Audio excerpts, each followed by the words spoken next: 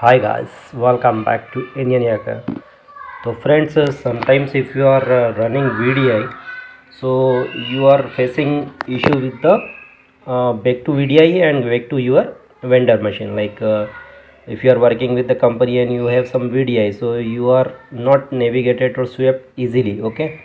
Through vdi like i have this vdi and you have to click on this button the toolbars the this toolbar but it will take some time to go to back right at your vendor machine. So you are thinking about how is the shortcut to go easily to your vendor to VDI and VDI to vendor machine right?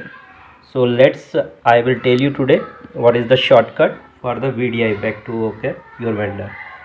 Because if you are clicking this toolbox it will take some time like one minute okay?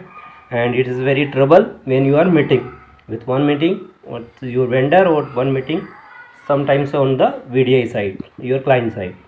So you just if suppose you are on that VDI so on the touchpad the three fingers you have to swipe okay? See this one. You see easily you back to the your vendor machine.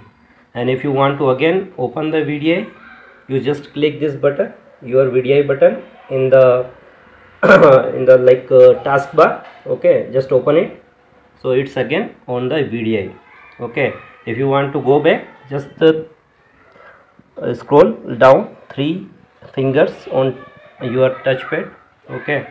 So you will get again the VDI this is the shortcut bro and this is will be helpful for you okay? See you in the next video. Bye bye please subscribe my channel